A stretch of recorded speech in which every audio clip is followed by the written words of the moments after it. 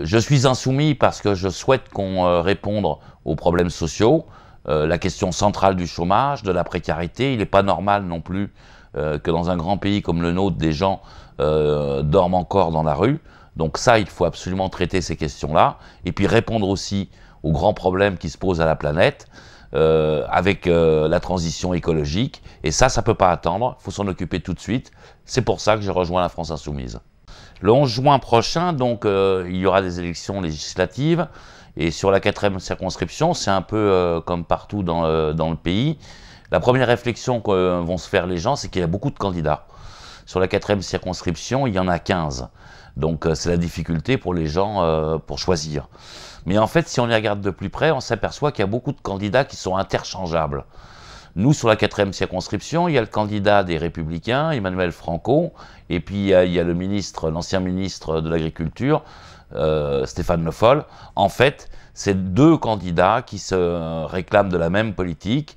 Euh, ils se réclament tous les deux d'Emmanuel Macron et ils, continueront euh, les politiques d'austérité.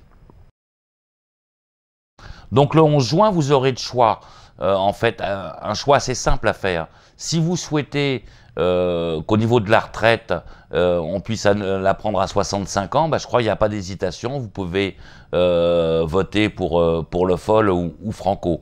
Si vous souhaitez que soit remise en cause la sécurité sociale, vous pouvez voter pour Le Foll ou Franco. Mais si euh, vous souhaitez que ça change réellement, qu'on s'occupe enfin de vos problèmes, là, il n'y a pas d'hésitation. Vous pouvez voter pour, euh, la France Insoumise et Pascal Framentière. Et puis, je voulais signaler aussi autre chose. On parle beaucoup d'écologie. Euh, au niveau national, les ministres en parlent, mais en fait, il n'y a pas grand-chose qui, se qui se fait. Eh bien, sur notre territoire, à Fillet-sur-Sarthe, euh, une petite commune euh, du canton de la Suze, le maire a décidé, euh, avec ses adjoints, avec son équipe municipale, avec Thérèse Gouet, qui est en charge de ce dossier, eh bien de, faire venir un maraîcher bio, d'installer un maraîcher bio sur le territoire, qui pourra ainsi livrer la cantine scolaire en produits bio. voilà, un projet que nous soutenons et qu'on aimerait voir se développer à l'échelle du pays.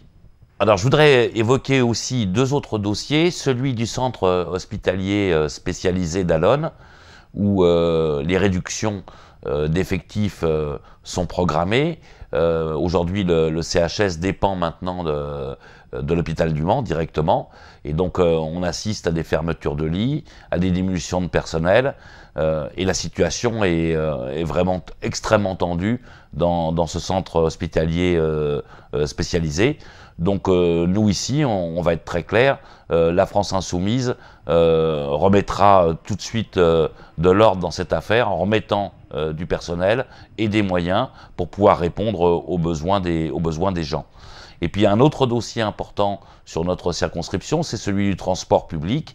les horaires des TER ont changé sur la ligne Le Mans-Sablé et ce qui pose euh, d'énormes difficultés euh, pour les scolaires, mais aussi pour les salariés, euh, pour pouvoir aller soit au lycée, soit à leur travail. Et là aussi, il est temps de se préoccuper réellement de ce que de ce qu'ont besoin les gens pour pouvoir se, transporter. Voilà, toutes ces questions-là, c'est des questions très importantes que nous traiterons durant toute cette campagne et vous pouvez compter sur nous pour apporter toutes les solutions nécessaires.